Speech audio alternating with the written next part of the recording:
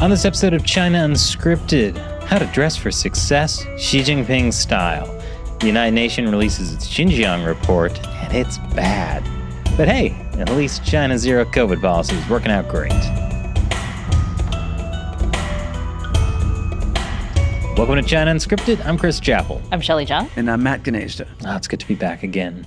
Yeah, we missed you, Chris. Oh, I'm sure. How, how many fun conversations did you guys have?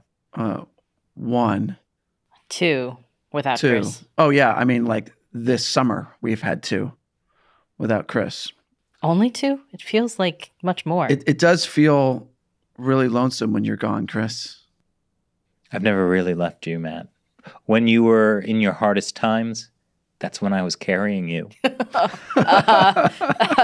uh, Yeah.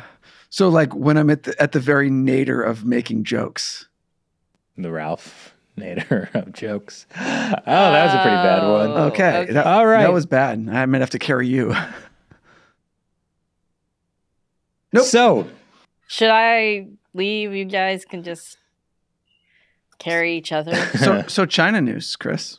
so I, I think we should start off today talking about office and bureau style. Oh This man, that stuff is so dope. I love this new style. Did you just say so dope? Uh, I did. Is that an expression from the nineties? You know, it's interesting. We were trying to make this new movement in communist China seem cringe, but then Matt just came in and out cringed them all.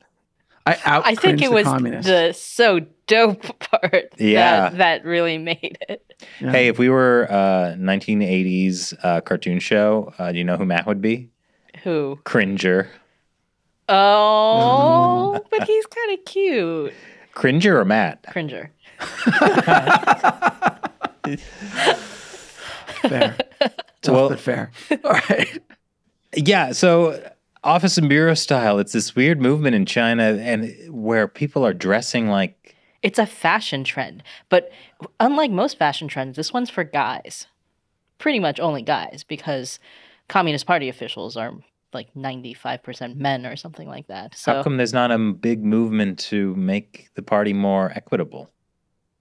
Because the the China Feminist Association is actually controlled by the Chinese Communist Party and ensures that women do not seek uh, real equality and also does things like encourage women to get married by the age of 26 or they'll be leftover women. That's the Feminists Association. no, it's actually the China's Women's Federation, but it is the Feminist Association.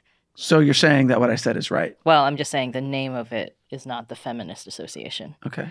But, uh, well, there's one woman in the Politburo. Really? Yeah. Yeah. She's the one who gets assigned every time there's a COVID lockdown. She goes to the city and makes sure it makes sure that it's it's a harsh enough COVID lockdown. Like whenever she comes to your city, you know that it's going to get worse. Essentially, like the lockdown's going to get harder.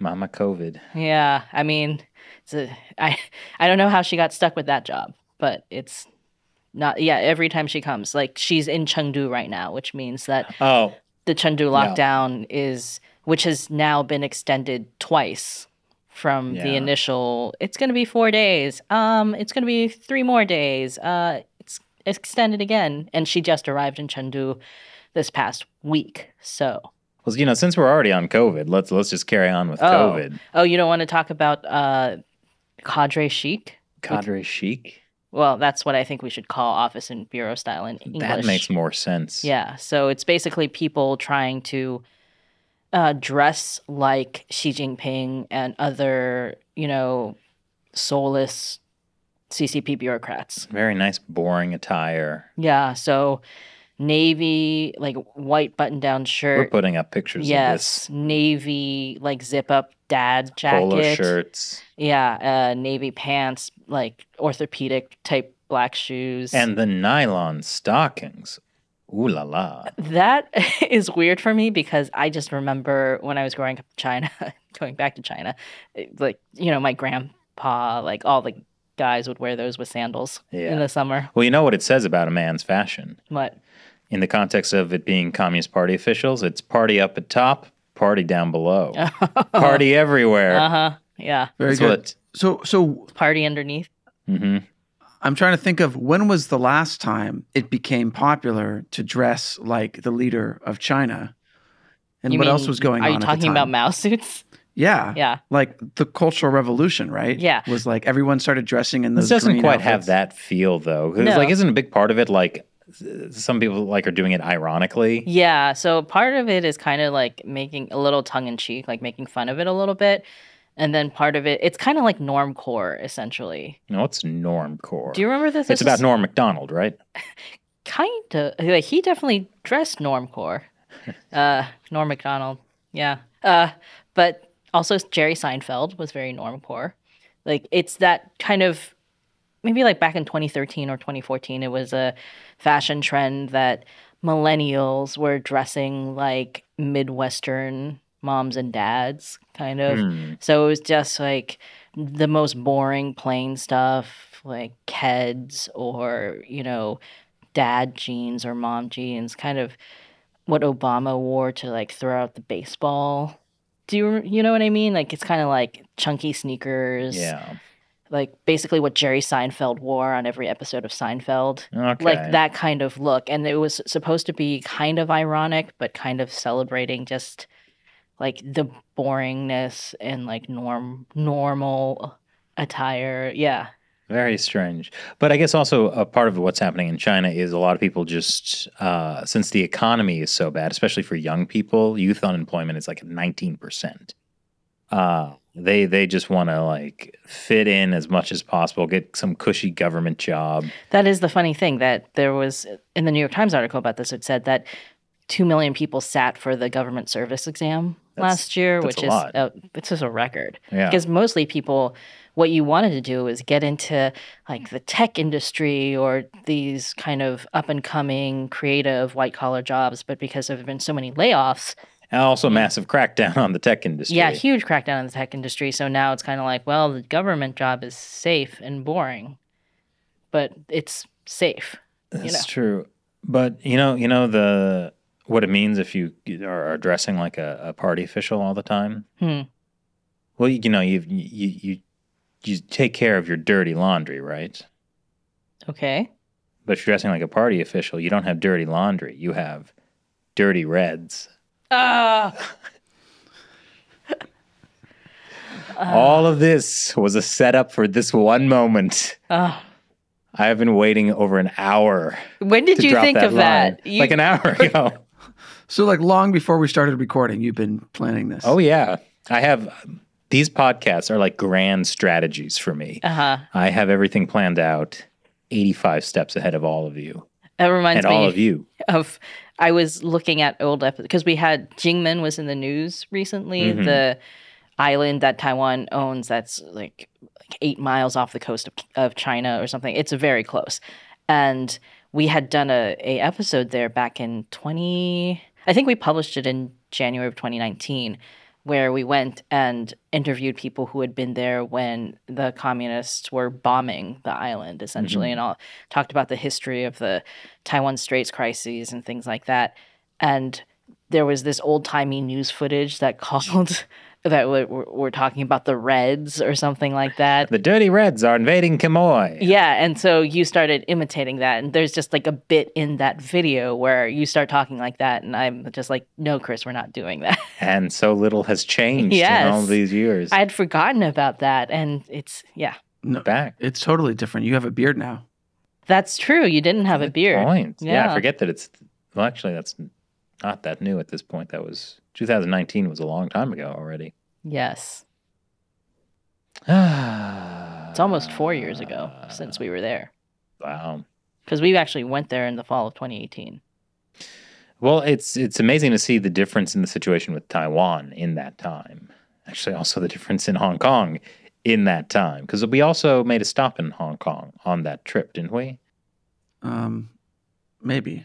Kind of, but just like passing through. Oh, Yeah, we were in Hong Kong for like a week in 2016, and then we we had uh, interviewed. I remember the director of the short film series 10 Years, which was like what Hong Kong is going to be like in 10 years, and it was five short films that all predicted this like sort of dark communist future for Hong Kong 10 years from when it was published. So that would have been 2025. But, you know, the Communist Party was very efficient. So they, They did it in less than five. they did it in less than five. And, and I just, that's why I remember the timing of that trip. It was a very boring time for, for Hong Kong and a somewhat uneventful time for Taiwan as well. But it's definitely gotten, uh, Yeah. those tensions have really ratcheted up. We interviewed Joshua Wong, and he was like interning at a legislative office. That was before he went to prison. It's it's kind of amazing over the years how many people we've gotten to know who are like now in jail or in exile or have been assassinated. Yeah, it's really, That's something that like I feel like most people don't usually have in their lives, meeting people. And then you hear like, "Oh, this person is in jail. Oh, this person was assassinated."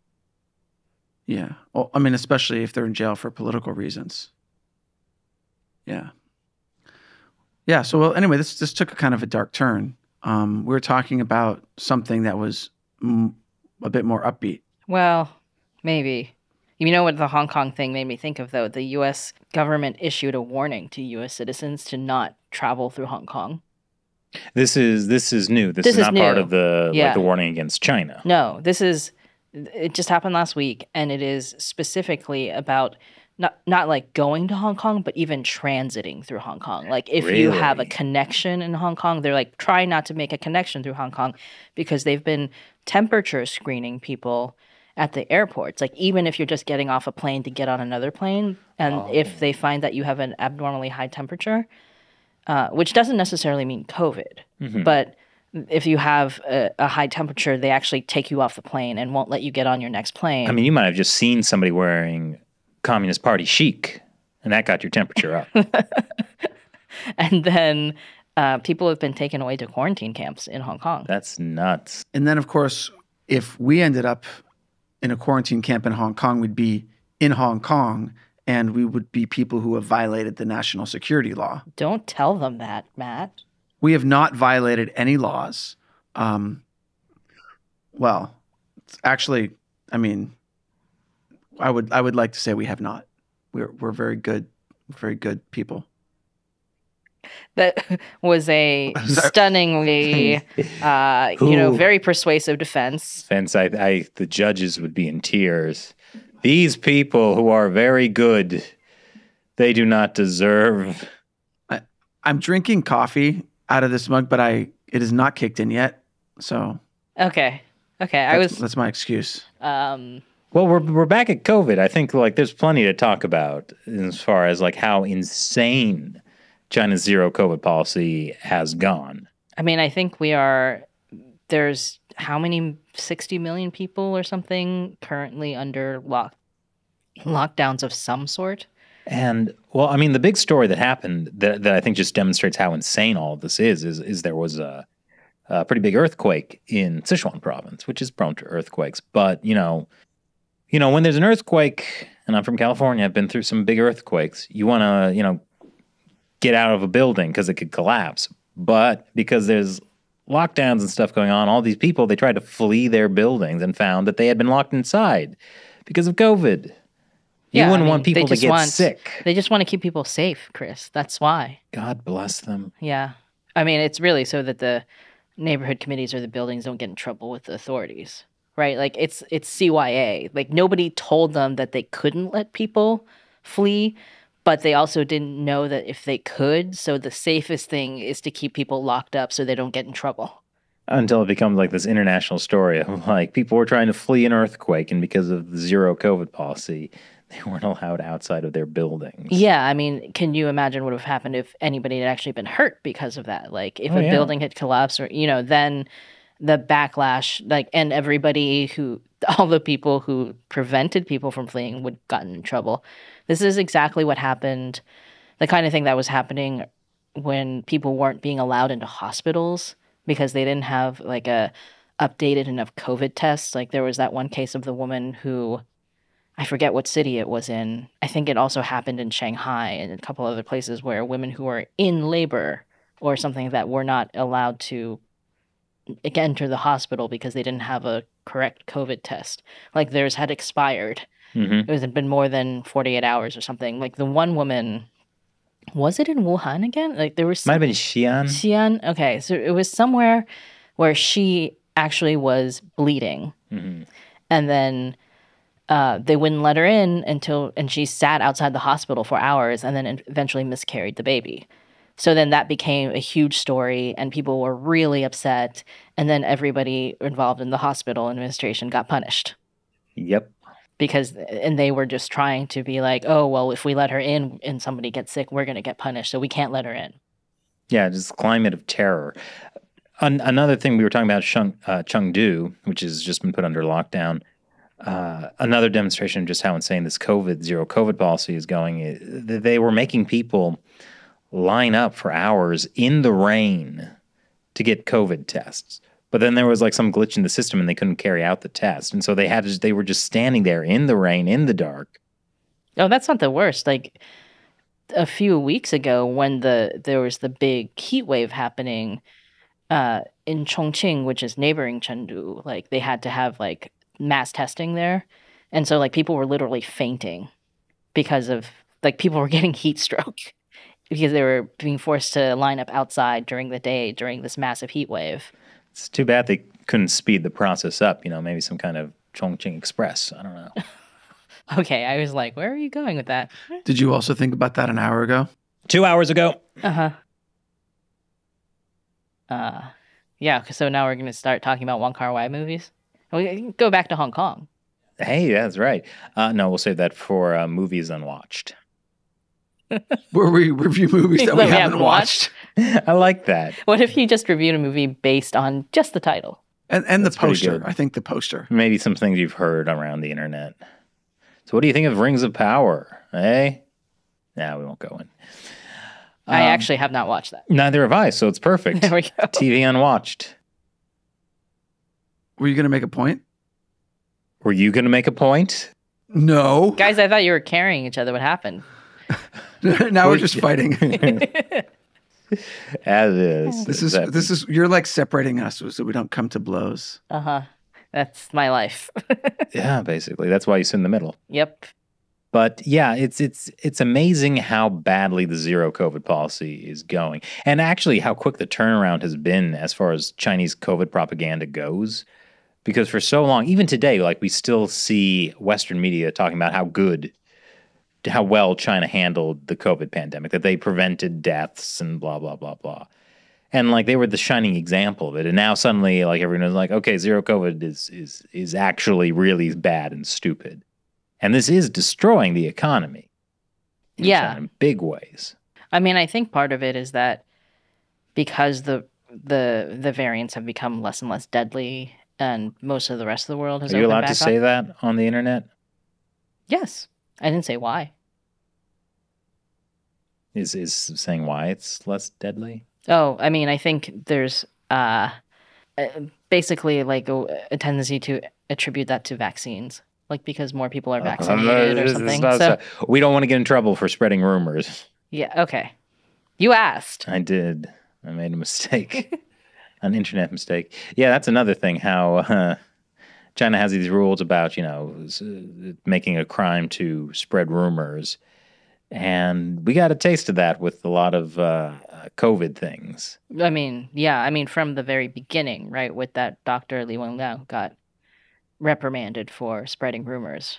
Right, but And also just like o- over 2 years how politically incorrect it's been to have a dissenting opinion on COVID even if you're in the United States. Oh, that's what you were talking about. Yeah. I thought we were talking about China. No, I was I was talking about Okay. the U.S. Just But and also the guy in Chengdu who got arrested and detained for two weeks for spreading rumors that Chengdu was going to go into a lockdown. a few days before it went into a lockdown. Yeah, same thing happened in Shanghai actually, where people were saying that Shanghai was going to lock down. They got in trouble for saying it, and then three or four days later, it locked down. Well, because people are really scared because I think I think it was Xi'an where it first really became like known throughout China that like people were being forced into lockdown and they didn't have enough food. And then that happened in Shanghai. And then people in Chengdu see this. And so when this this internet user, Tropical Rainforest, I think was his username, uh, said that, you know, there might be a lockdown in Chengdu, panic buying happened. You saw all kinds of crazy videos. I think there was like one video, like one image of like a guy who just tied like a bunch of chickens around his car. Yeah, and multiple people with either an entire pig or enough pork to reconstitute a pig in the back of their cars or something like that. Maybe they were just scientists. They were assembling a pig. A Franken pig. Uh, for some reason That I wouldn't s- make Franken sense. Oh, That was a three hour plan. okay. Well, suddenly I thought of Bunnicula. What? Did you ever read those books as a kid, Bunnicula? No. Is this the rabbit hole we want to go down? Well, it's Literally. about a vampire rabbit that Oh. sucks the sucks the life force from vegetables, Oh, wow. and a bunch of other pet animals who are investigating this, like vampire rabbit. Do we have a terrible podcast? Um, Let us know in the comments below. uh, but yeah, like you see how uh, these insane high level government policies inspire insane uh, reactions from local officials. And then that, how that just leaves the entire population of China absolutely terrified. Yeah, I mean, even the panic buying in Chengdu, like Chengdu, as far as I know, has not run out of food. Mhm. Uh, it was just the panic buying because everybody had seen what had happened in all these other cities and were upset and worried about not being able to go out and get food. But Chengdu has actually allowed one person per household to go out and buy food. Oh, what a wonderful. Yeah, they've learned their lesson. Like they're being much more, you know, flexible now. And then pe- because of the earthquake, people were joking whether, uh, you know, one person per household would be allowed to escape the earthquake. Oh, God, that really is getting biblical. Only one in every 40 households will survive. So, so here's my question: like, if people, one in every household is allowed to go out, but then, in order to have grocery stores where people can buy stuff, you need to have workers who can work at the stores. You need to have, like, uh, Yeah, you- delivery drivers. You need to have logistics people. Uh, like, you need to have a lot of things still be operating, and of course, the farms, uh, and the, Well, the farms aren't and in- all that, and the farms aren't necessarily locked down.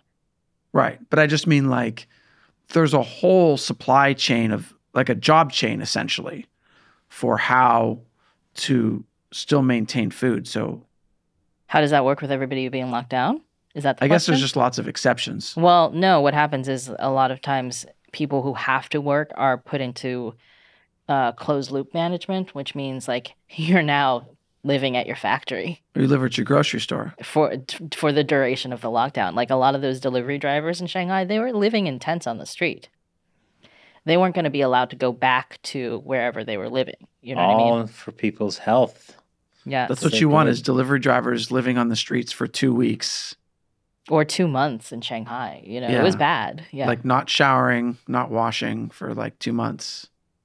And we saw in Shanghai, like the truck drivers trying to come in with goods from out of town, right? And how a lot of them were stopped at the border That's right. Yeah. and they're rotting vegetables. It was a mess.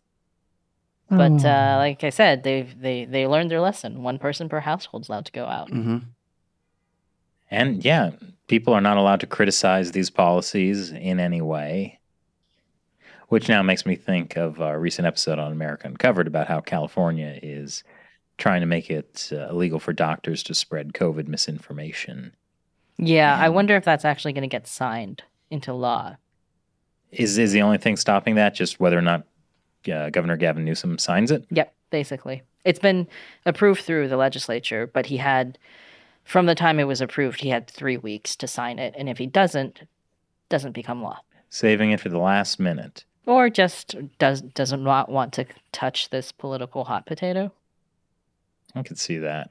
Yeah, yeah, because I think a lot of the more stringent um, proposed bills that this California vaccine working group had come up with didn't go through because um, people aren't as worried about COVID as they used to be. So having a bill that gives the police the ability to enforce public health laws is suddenly like, oh, wait a minute, do we want to do that? Is that Defund actually the a- police, except when we need them to enforce public health law? Yeah. yeah. I mean, yeah, that really is the kind of like slide into authoritarianism that we see has happened in China. And you see that that is not a good thing for a society. I'm not sure if it's a slide so much as like like a trap door that just opened. Whoa. Yeah. Oh boy.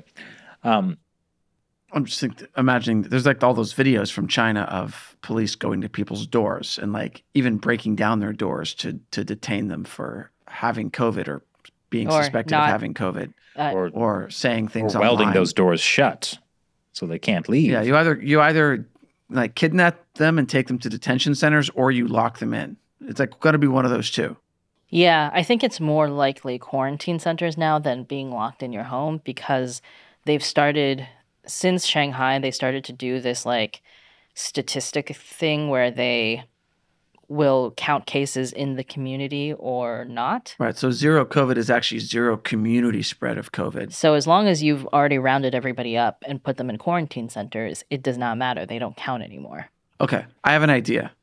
So every major city, we're going to now call a quarantine center. And then there's no COVID. There's no COVID. There's no community spread of COVID because it's all technically happening within a quarantine center. And then all the Western newspapers will be like, wow, China successfully stopped COVID. China saved the world again. and its economy is doing great. Oh my gosh. Well, the COVID economy is doing great.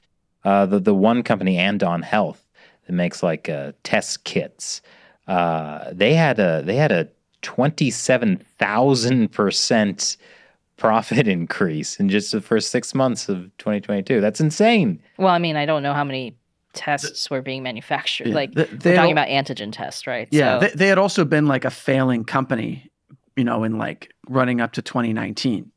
So like obviously like they're at a low point, but they still made 2.2 billion dollars in profit, which much of which was because the US government ordered at-home COVID tests for Americans from this Chinese company because, you know, obviously if you want a solution to the COVID problem, you go to China and, and, and buy the, the test kits from there. well, I mean, they're making the test kits. Yeah, I noticed actually that. Uh, you know, every time I see a test kit in a drugstore or something like that, it's always made in China, no matter what the company is. You know what else was made in China? Well, we don't need to talk about that here on YouTube, where we could get our channel shut Face down. masks? Yes, that's what we're talking about, right? Yes, Yeah. face masks. Yeah. And and thank goodness China was providing us some of the face masks that they I'm just so themselves. honored that my taxpayer dollars could go to an authoritarian regime that uses rape as a form of torture to sell us masks. yeah. Speaking of using and rape uh, and and uh, tests. and tests, tests. I don't want to forget the tests. But you know, speaking of all these you know lovely things the Chinese Communist Party is doing, I think we should talk about the finally we get the UN report on Xinjiang. Came out. yeah, like literally.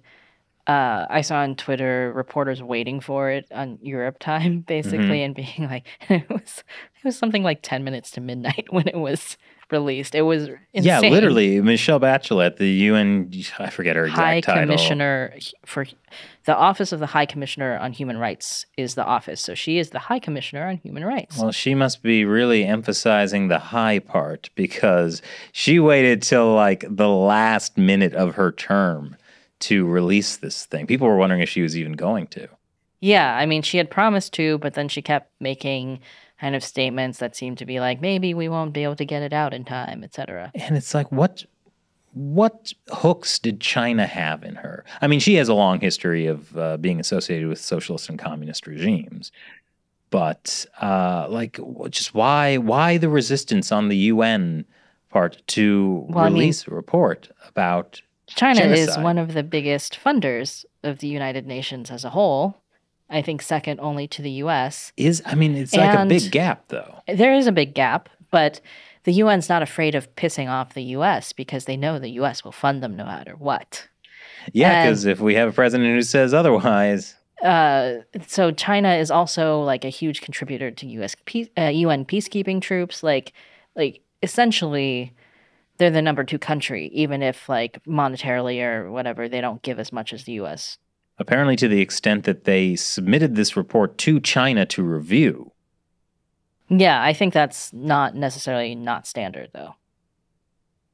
But in the context of like, if a regime is being accused of genocide, Well, they, I don't have a problem with them giving them a report. What I do have a problem with is them changing the report. That's what I meant. It was given to them so they could review it and make changes and submit things. Yeah, and like the Bachelet's office was like, we will only change factual things. Like if they point out that we have a factual problem, then that's the only thing we're going to change. Uh, but then reporting came out of Politico that they had watered down certain sections, like the section on forced sterilization, which would have been, you know, more sensitive. So they watered it down to what? Suggested sterilization?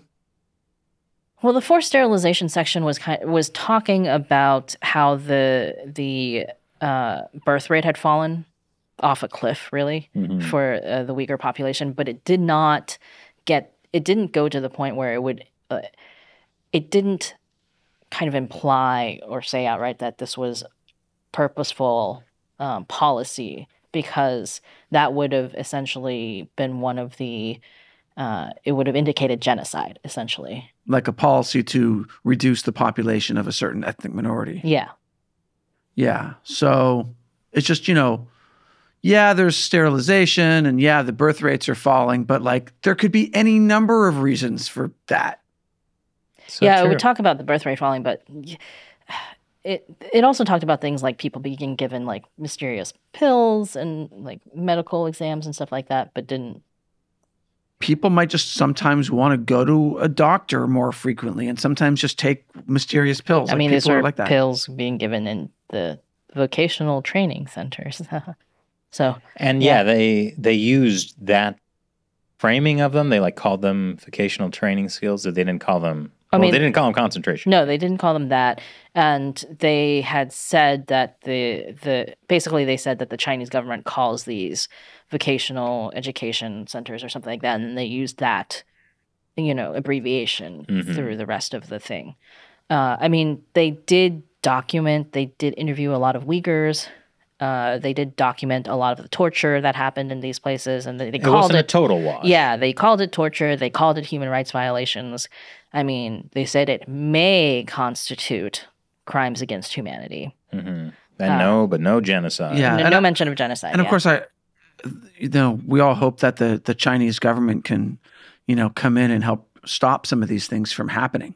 Well, you say that as a joke, but that is basically what the report suggested as a solution that the Chinese Communist Party, you know, maybe stop and also investigate. What's yeah, going well, they said immediately stop, you know, Mhm. arresting these people and also investigate the claims of torture and stuff like that that that are happening under this policy that, you know, it, it kind of acts as if the torture is happening under the policy, but not that the policy is directing the torture. If, yeah. We have investigated ourselves and found that we are great, glorious, and correct. Yeah, we are totally innocent. But the whole thing, w- what is maybe a little good here, though, is that the CCP's humongous pressure campaign on the Human Rights Office may have actually backfired on them a little bit because um, there was some reporting that indicated that after the CCP started this putting more and more pressure on the office, like people who were involved in the report were allowed to go back and interview more Uyghurs and like put some more stuff about yeah. i- back in the report. So, yeah, it seems like they were feeling enough political pressure from not China to Hmm. not completely cave. So, is it as good as it could have been? No. Is it a complete wash? Like you said, no, it's not a complete wash. But uh, so you can see how some of the CCP's pressure campaign could backfire as long as there is enough scrutiny from the rest of the world on this issue, you know. And I mean that this is really a microcosm of a bigger issue of like just what what is the United Nations? How does it actually function? And you know, like we sort of have this, you know, romanticized like it's Star Trek. You know, the idea that oh, there's this this uh inter- this international body that it doesn't look at any you know borders or countries. It just you know makes the peace For the good of the humanity. good of humanity. But you know what is actually the UN right now? Well, it's often very corrupt, very influenced by China.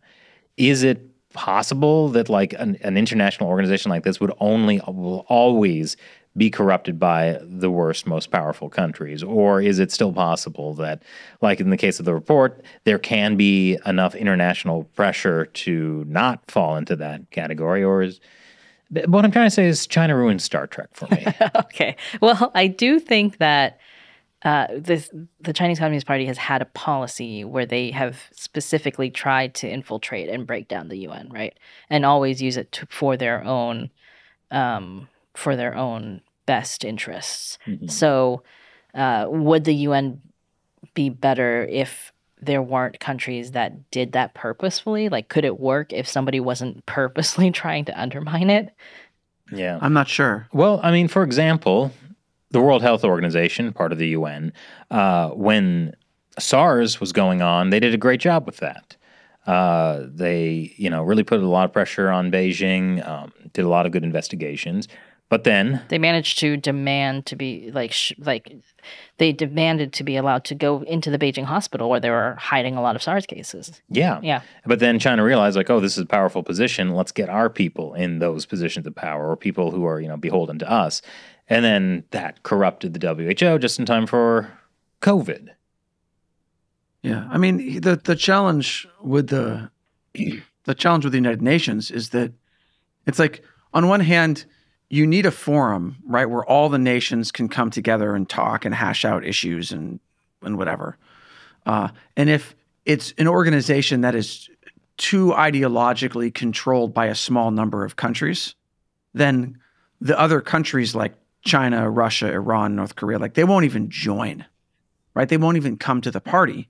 And then you've lost a valuable part of this forum, right? So you need to have an organization that is, like, in some sense, weak enough or malleable enough for these authoritarian regimes to at least come to the table, not fearing that, like, something's going to happen to them just for showing up, right? What do you mean something's going to happen to them? Well, like okay, let's say let's say that the the the the United Nations was ideologically just controlled by you know the United States and Canada and and Western Europe and these you know sort of free and democratic countries, including a few you know in the Eastern Hemisphere. Like like okay, then a country like China might just be like, well, we're not even going to bother showing up because every policy you have is part of your, you know, colonial hegemonic ideology and we feel like we have no say.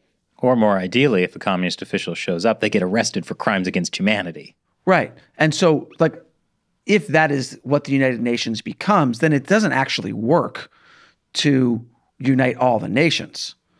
Right? I th- I mean, th- the this is- United Nations doesn't have all the nations in it. Right. And so like even even the original compromise, and it wasn't so clear it, it should have been, but it wasn't so clear at the time how bad an idea was to have the Soviet Union be part of the Security Council. So you've got like two parts. You've got the the Security Council, which is five countries. Two of them are well, one's Russia and one's China. Permanently. No, the Security Council is more than five countries, but there are The five permanent, Permanent members. members. Yeah. Right. So at the time in 1945, there was one authoritarian country, which was the Soviet Union.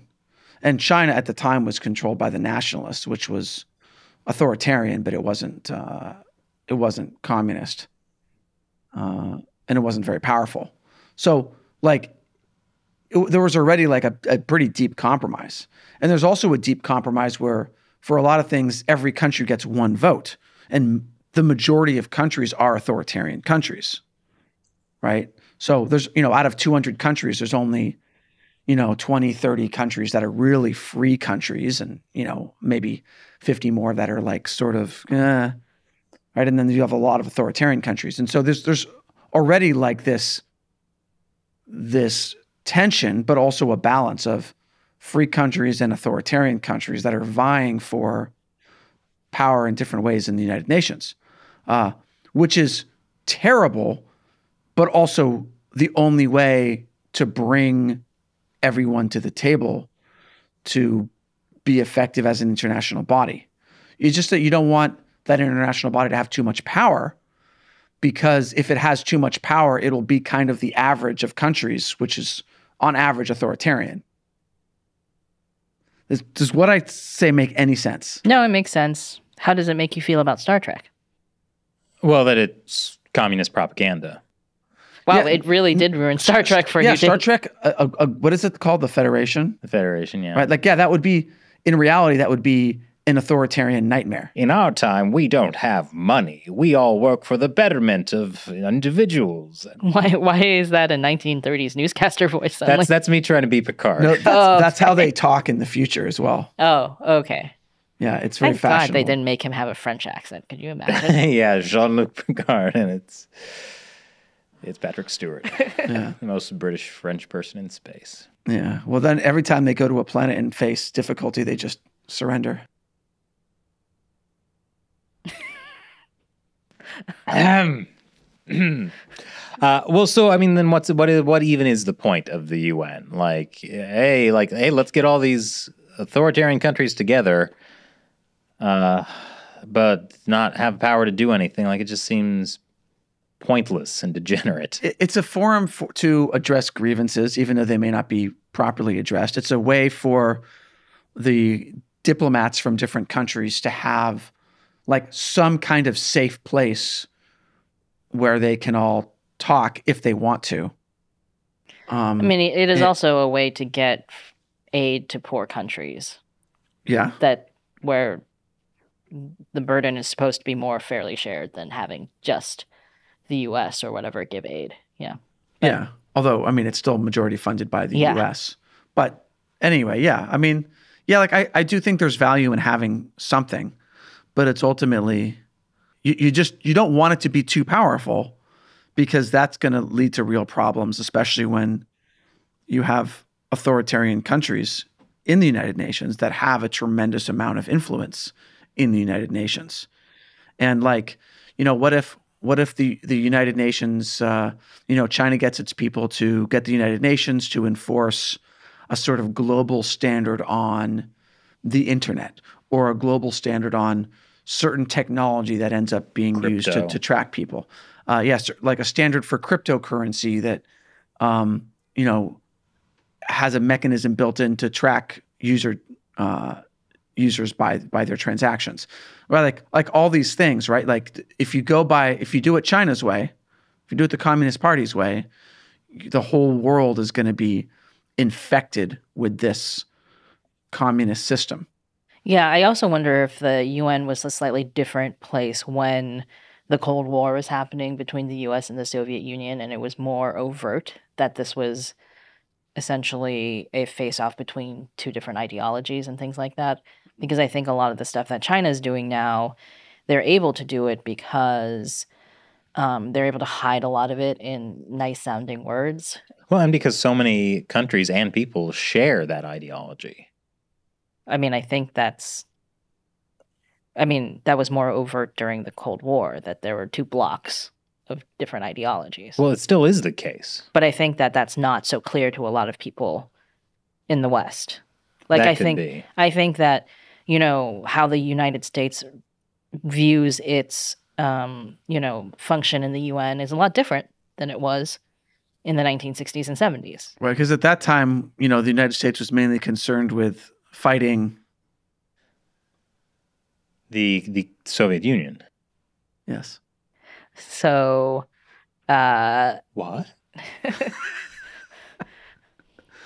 oh Matt.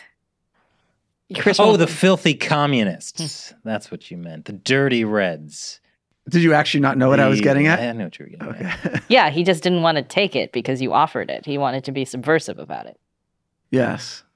And then I was confused when it was revealed. Anyway, let's let's move on.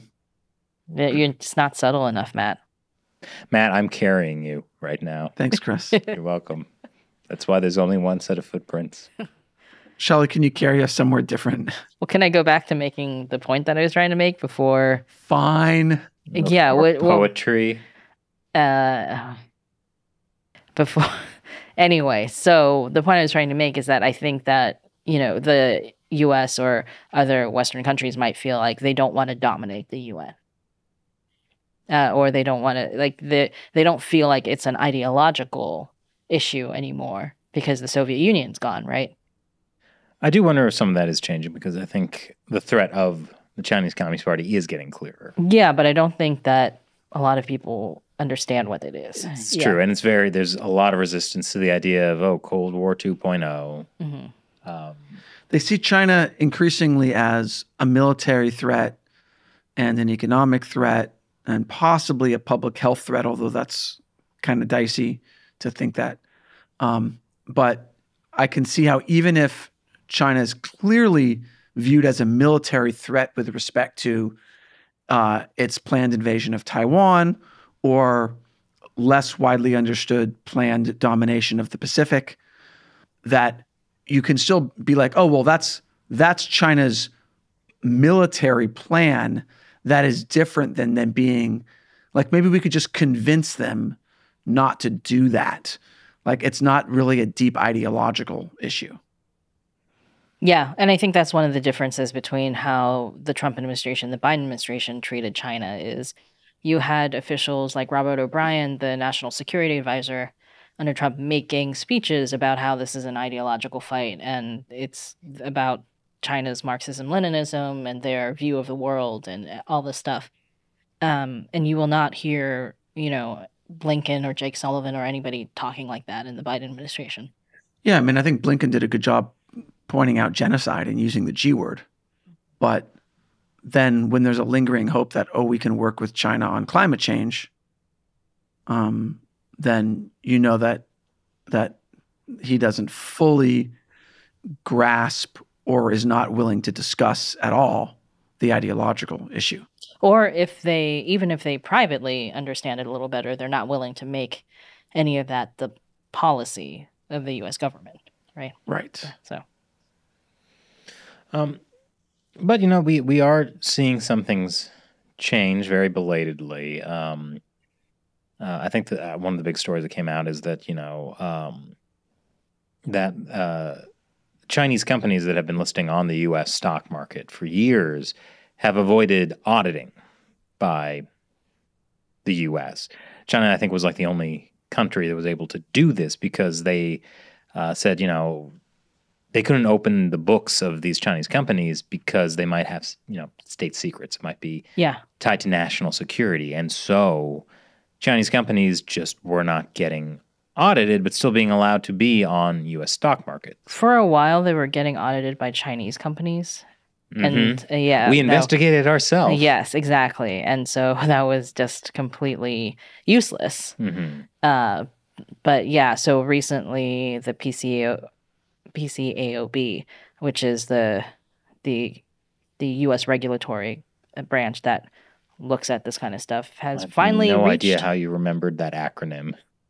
um, PCAOB. Yeah, it's just you know like the SEC, the FTC, the uh, OCC. I do have to say that the PCAOB is a little longer than the SEC, but It almost sounds like an old school rap. you know the SEC. You down? With, you down with OCC? Yeah, you know me. Yes, I am down with the Office of the Control of the Currency. we brought it kind of back to Matt's dope comment in the beginning. Yeah, that was dope. oh yeah, yeah, Yeah. There we go. Anyway, but uh, they finally reached an agreement with Chinese authorities to supposedly have Chinese companies open all of their books to the PCAOB and U.S. auditors. Yeah, which we'll see if they follow through. Um, but just so people like understand why this is so important, like you know, we use the example of Luckin Coffee. It was you know a Chinese company.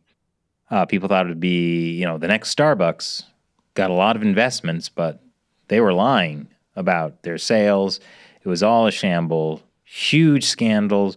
Uh, American investors lost. The stock collapsed essentially. Yeah, yeah, boatloads of money were lost, uh, and that wouldn't U.S. investors would not have been hurt if U.S. auditors had been allowed to look at the company's actual books.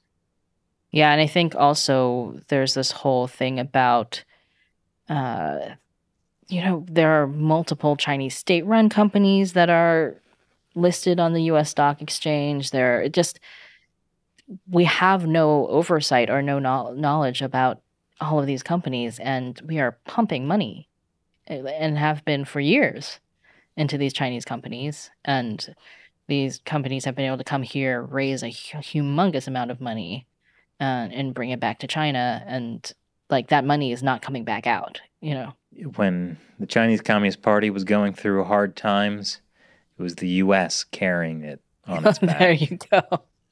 That's that is true. I mean, I think true. I think that like the people forget the original value of the stock markets, which is that like people today think of a stock market as a place to park my money to outpace inflation or to make a profit. But at, a, at its core, the, the, the value of a stock market is for investors to be able to invest in good companies to help them grow, right? It's basically a it's a fundraising mechanism where the investors are partnering with companies to help those companies succeed, right? And so now think about what we're doing if American investors are investing in Chinese companies which are competitors to American companies like Luckin Coffee is we Americans are putting our money into a a uh, company to help it succeed in taking over the market from our own American companies. So to me, that undermines the real value of the stock market. And I'm not defending like the stock market has lots of problems, and this I was is going one to say that's a very It's a- idealistic it is it is, version it is an what- idealistic yeah. version of the stock market and and like we've there's so many problems with the stock market and there have been not just since China started in getting involved but since since the beginning right because and and a, generally when you start seeing problems in the stock market it's because people stop treating it as looking at it as as investing in companies to help them grow and val- like the valuation of those companies should be tied to their uh, expected earnings, right? And then like you start to lose track of that and you get big bubbles, right? And that's what happens ahead of each crash because you lose track of the fundamental mission of the stock market. And this whole idea of having Chinese companies come in and list on the US stock market is already a, an indication that we have lost sight once again of what the core value of having a stock market is. Think of is. how much money people can make. you know what? You're right. Yeah. Forget it. Yeah, I, forget what I said. I mean, Alibaba, Actually, it's a great opportunity to you make know, money. nothing's bad's going to happen to Alibaba. Look at how huge it is in China. Of course, Yeah. we should let it list on the U.S. stock market. Hey, let me give you guys a hot stock tip. There's this Chinese company. It's called Evergrande. don't. It's going through a little bit of a rough patch now, but don't worry. It'll be bailed out by the Chinese government.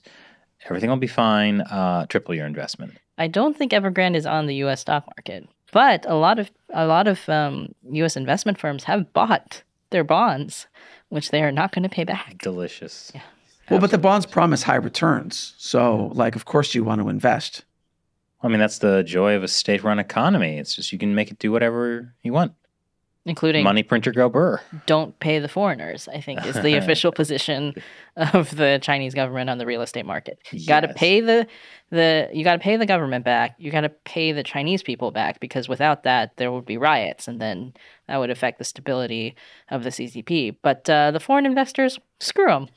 My my favorite thing that came out this week about uh, uh, great communist money making strategies was since there is this real estate crisis going on, um, where companies like Evergrande, uh, uh, you know, Over leveraged. over leveraged, they don't have the money to finish homes that they've already sold to people who now aren't paying mortgages on homes they can't move into because they don't exist, and all this blowing up, and nobody wants to buy homes, and people can't get mortgages.